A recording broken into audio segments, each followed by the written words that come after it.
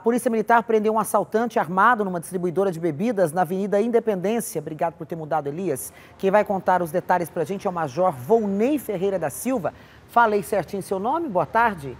Boa tarde, Silvia. Sim, falou sim. Seja bem-vindo aqui. Ó, o, o, o, Major está sozinho, ele tirou a máscara, mas ele está isolado ali. A nossa câmera também está distante para ficar bem claro para vocês por que ele está sem uso de máscara aqui ao vivo no Balanço Geral. Major, como é que aconteceu isso? Onde foi precisamente?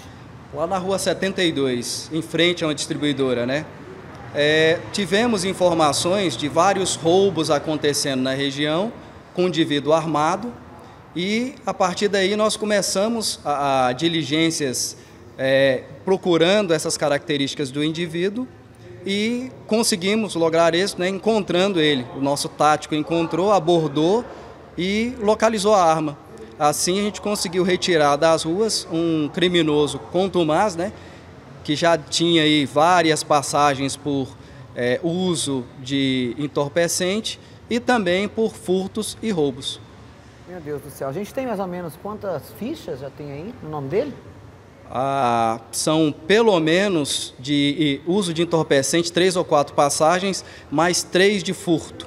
E fora essas de roubo que a gente conseguiu identificar e agora a gente está começando a, a, com essa identificação né, da, das imagens, começando a colocar isso na conta dele. O Major, a gente tem sempre ali a, a resposta né, do criminoso que gosta, a polícia chega ali, ela faz algumas perguntas, ela interroga, aquele interrogatório preliminar, que quem faz isso é a Polícia Civil dentro da delegacia, mas a Polícia Militar tem o um momento da prisão. No momento que vocês conversaram com este homem durante a prisão, ele chegou a falar por que, que ele fazia isso?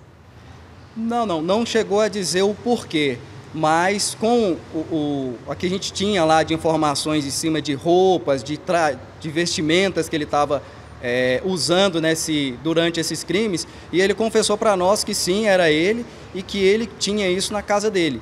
Franqueou a entrada, a gente foi lá conseguiu identificar as roupas que ele estava usando. Mas ele não chegou a dizer o porquê desses roubos e desses furtos que ele fazia. Que horas foi a prisão, Major? Ah, foi à tarde. À tarde. O senhor acredita que ele está preso ou já está solto? O senhor tem essa informação? Ainda não. É, acredito que pelo, pelo tempo ele deve estar tá passando pela audiência de custódia por esses, por esses momentos. E aí o nosso esforço principal é de identificar todos os crimes que foram ele que cometeu, para que a gente possa juntar, fazer um, um arcabouço de provas aí, para que a gente consiga manter ele mais tempo preso. É, o Major falou a coisa mais certa aqui que tem. Quanto mais crime, quanto mais imagem, quanto mais pessoas denunciando, na hora de, de remeter ali o inquérito policial para o judiciário, o juiz, quando pega uma ficha, uma coisa completinha, com vários crimes, ele fala, não, esse aqui não.